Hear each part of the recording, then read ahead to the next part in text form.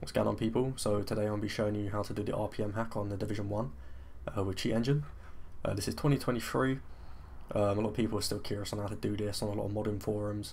There are free cheats out there in UC but the RPM's kind of broken on a lot of them. So I thought, you know, I'll make an updated video on how to do it. Uh, only do this in PvE. Please don't do it in PvP and be a dickhead. right, so it's really simple. All you want to do is just take note of the RPM on both your weapons. Uh, make sure they're unmodified so if I go down to lightweight M4, you see how it's modified with the RPM. Um, yeah, you, you'll have problems finding the value. Well, I do. So just make sure you've got two base weapons that aren't modified, and it's just the number, no like additional ones below it. Okay, so the LV is 850, the showstopper is 240.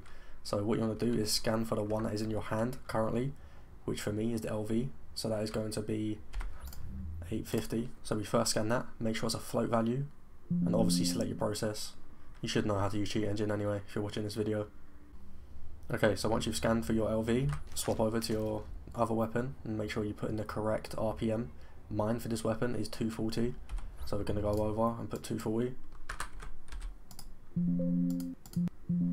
Now, as you can see, the values are what the address is. There's quite a little amount already, but we're just going to do it one more time. So, swap over, so it's going to be 850. So there you go, it's cut them in half pretty much. So we're going to put 850. And here I'm just literally going to start testing which one like it is.